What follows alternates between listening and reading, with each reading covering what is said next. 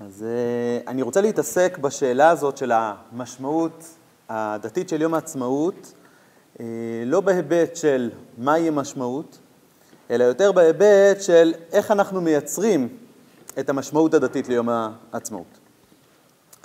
אה, היכולת שלנו באמת לקרוא את המציאות באופן כזה, היא דווקא בהיותנו בתוך תמונת החיים, בהיבט ההיסטורי לאחר הקמת המדינה, לאחר פרק זמן, ואולי אפילו קצת להתנתק מ... אה, סליחה אם אה, נדגיש את זה בצורה הזאת, אבל אה, מהכרת ההודיה אנחנו קרים, נמצאים בתוך מציאות חיים שמדינת ישראל היא דבר מאוד ברור מאליו. לא מכירים את המציאות הקודמת שבאמת חיים, בגל, חיים בגלות, חיים בחוסר קשר, חיים בחוסר מדינה, באי הנהגה עצמית והובלה עצמית של מה שאנחנו פועלים בחיים. אה, ודווקא ההיבט ההיסטורי הזה יכול לבוא ולגלות את הנקודה הייחודית שמתחדשת בתוך יום העצמאות. בכדי אה, לגעת בנקודה הזאת, אולי כן אני אשאר בפן המצומצם, ההיסטורי המצומצם, הרב דעה פתח את הפן המצומצם לפן היהודי הרחב והחזיר את יום העצמאות גם אה, לתנועה היהודית העמוקה והעתיקה, אם אנחנו מסתכלים על התאריך הזה שנוסד כיום העצמאות, מה התחדש בו? מה קרה בו לאור ההיסטוריה או ההיסטריה? אה, הייתה הכרזת המדינה. הכרזת, הכרזת המדינה לכאורה לא יצרה יצ, אה, יצירה משמעותית מצד עצמה. הרי אה, בתחום הטריטוריאלי המציאות נשארה כמו שהיא. בהיבט הצבאי המצב היה כמו שהוא. לפני ההכרזה ואחרי ההכרזה הדברים אה, היו אותו דבר. היא גם לא גרמה לאיזושהי הכרעת מלחמה כזאת או אחרת, אלא ודאי אולי רק אה, הקדימה את אה, תחילת המלחמה. אפילו בהיבט, ותכף נרחיב בו יותר, בהיבט הפרקטי אולי היחידי, שהשלטון הבריטי הוא זה שעזב ומדינת ישראל היא זו שהוקמה לכאורה לתוך החלל שנוצר שם, השלטון הבריטי, בעצם המנדט הבריטי היה עוזב ממילא, היה תכנון מקורי לעזוב את מדינת ישראל והכרזת המדינה אולי הקדימה קצת את הסיפור ההיסטורי שקרה שם או את הסיפור המציאותי שקרה שם אבל לא באמת שינתה את אה, הלך אה, הרוחות ולא את ההיבט המציאותי. אז מה כן קרה? או מה אנחנו יכולים להתבונן בשאלת הכרזת המדינה בנקודה הזאת שהיא מחדשת דבר שהוא מאוד משמעותי בתוך החיים העמוקים של, אה, של עם ישראל. ובהכרזת המדינה יש איזושהי לקיחת אחריות, לקיחת ריבונות, חידוש ריבונות של, של עם ישראל בארץ ישראל, שבאופן פשוט הריבונות הוא משהו מופשט, הוא לא משהו מוגדר, הוא לא משהו פיזי שיש לו מקום, אלא הוא הקנייה, איזושהי זיקה קניינית כזאת, קולקטיבית, לאומה שבאה לבוא ולהתיישב. זה מה שקורה בעצם הריבונות. אנחנו מייצרים את השייכות, נמצאים בתוך איזשהו מרחב טריטוריאלי, בתוך איזושהי ארץ, ואנחנו באים ואומרים, אנחנו לוקחים אחריות על הפן הלאומי שלנו, על אותם מוסדות שיוקמו לעתיד, על האחריות הביטחונית, הכלכלית, המשפטית וכן הלאה בשאר החלקים השונים של החיים, ואנחנו רוצים אה, להוביל אותם. אנחנו רוצים לשייך את זה לתוך השפה הפנימית, שפה עצמית שלנו, ומתוך החירות הזאת שנוצרה לנו, מתוך הרצון העצמי, שם אנחנו רוצים, או דרך זה אנחנו רוצים לצבוע ולצייר את התמונה הזאת שנקראת מדינת ישראל, את אה, אה, מדינת ישראל לא רק בהיבט של מה שקרה באותו יום של הכרזת המדינה, אלא מדינת ישראל מכאן ולהבא לאורך אה, ימים ושנים, לאורך דורות רבים. ולכן שאלת הריבונות הזאת היא הופכת להיות איזושהי נקודת ציון מאוד משמעותית בהיבט הרוחני של עם ישראל, כי בחברה יש בה שני היבטים. למדנו בבא בתרא בחורף, גם במסכת בבא בתרא יש שני חלקים, אנחנו התמקדנו בחלק הראשון, לא הגענו לחלק השני. יש את החלק שעוסק בחברה, בקהילתיות, שם פחות או יותר אה, אה, התעסקנו, אבל יש גם פרק, יש נוחלים, יש גם נחלה. החברה זקוקה גם לקהילה וגם לנחלה. יש גם את עם ישראל ויש גם את ארץ ישראל. וארץ ישראל ועם ישראל הם החיבור היחידי כדי לייצר את הריבונות הזאת. היא, השידוך שנעשה ביניהם הוא זה שיכול לבוא וליישם את אותו חופש רוחני, חופש הדעת, העצמאות הזאת שתבוא לידי ביטוי של אותם רעיונות גדולים, אותם מהלכים גדולים שמתפרשים בתוך החיים, דרך אה, אה, ההשלמה הזאת של עולם הרוח שצומח מתוך המרחב הטריטוריאלי או מרחב המקום השלם שמחזיר את העם הזה אה, למקומו הטבעי ודרכו, דרך המרחב הטבעי הוא יכול לבוא ולפעול. ואם דרך זה אנחנו אולי נגיע, או על פי ההקדמה הזאת, אה, אה, לצד הדתי, אפשר לחלק את הצד הריבוני לשתי היבטים דתיים. יש היבט אחד דתי, שהוא מתבטא דרך מניין מצוות העשה של הרמב"ן, יש לנו מצווה לירושת הארץ. כאשר עם ישראל חוזר לארצו, כאשר עם ישראל כובש את הארץ, כאשר עם ישראל הוא מכיל ריבונות בארץ ישראל, הוא מקיים מצווה, מקיים מצווה ש, שציוונו לרשת הארץ אשר נתן לנו, אשר האל יתברך, ויתעלה לאבותינו, לאברהם, יצחק וליעקב, ולא נעזבנה ביד זולתנו מן האומות או לשממה. יש קודם כל איזושהי יכולת חדשה שלנו של קיום המצווה הזאת, של מצוות ירושת הארץ, והיא באה לידי ביטוי על ידי זה שאנחנו חוזרים לארץ, אבל לא רק חוזרים ונשלטים בה, אלא חוזרים ומשליטים בה את הסדר הרוחני, את הסדר, סדר החיים המתוקן שאנחנו מעוניינים לבוא ולהציב ולא אה, שאומות משתלטות בנו.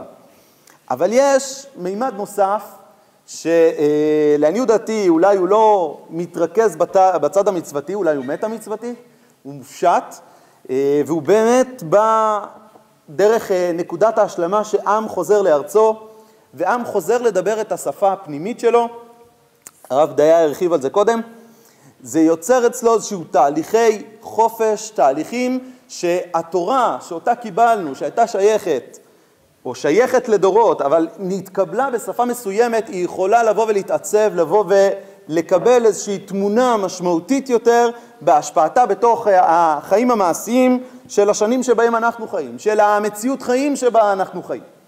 היא לא נשארת בדלת אמותיה, לא השפה ההלכתית שלה ולא השפה הרוחנית שלה. שני הצדדים האלה חוברים יחד כדי לשוב למרחב הטבעי, לאותו ממד המקום, וממד המקום הזה הוא באמת יכול לפתוח איזושהי קומה מאוד משמעותית, וזה ההיבט הדתי, באמת הרב דיה הרחיב בזה קודם, שהחזרה הזאת היא גם אם לא אה, נקטין אותה או נצמצם אותה לאיזשהו ממד מצוותי, היא השפה הכוללת של כלל המצוות. היא השפה הרחבה ביותר שעם ישראל יכול לבוא ולייצר לעצמו, ונכון שהוא יכול לייצר, ייצר לעצמו, והיא יכולה להתקיים דווקא בתוך המדינה, דווקא בתוך הארץ, דווקא בתוך מרחב השייכות שבה יש מסורת, יש מקום, יש מרחב.